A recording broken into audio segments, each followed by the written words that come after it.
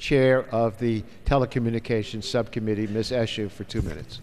Gentlelady is recognized for two minutes. Thank you, Mr. Speaker, and I uh, thank the ranking member of the committee. Uh, Mr. Speaker, within this bill are provisions on spectrum that will define our nation's ability to lead uh, the world in wireless broadband deployment. It will also define how we will finally, finally provide our first responders with a nationwide interoperable broadband network that the 9/11 Commission called for. I appreciate Chairman Waldman's, uh, uh, Walden's work with the minority, including the agreement on authorizing voluntary uh, incentive spectrum auctions, reallocating the D block for public safety, and providing the initial funding for next generation 9/11. I do have four concerns, and I want to point them out. First, uh, pertaining to the treatment of unlicensed spectrum. Unlicensed spectrum has created an innovative space for entrepreneurs, enabling Wi Fi, Bluetooth, and thousands of other devices and services, all meaning jobs. In fact, last month, the Consumer Federation of America released a new study which found the consumer benefits of unlicensed spectrum surpassing 50 billion, that's with a B, dollars per year.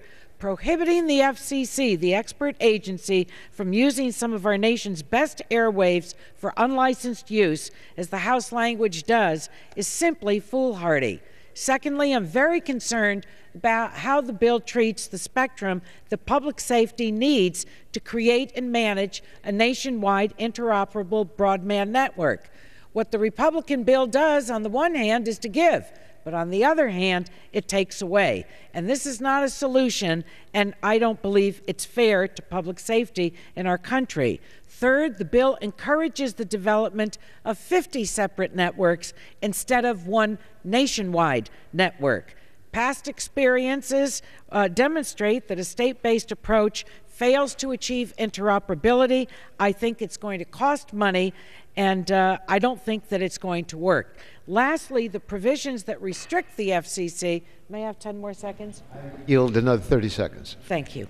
Lastly, the provisions that restrict the FCC's ability to preserve competition and promote an open internet simply do not belong in this legislation.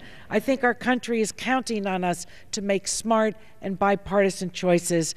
I'm sorry to say that I don't think that this bill meets the standard. I do believe that the Senate accomplished these goals in S 911, and I believe we can too, but not through this bill. And I urge uh, opposition to it for the reasons I stated. Thank you. Gentleman from Michigan. Mr. Speaker, at this point,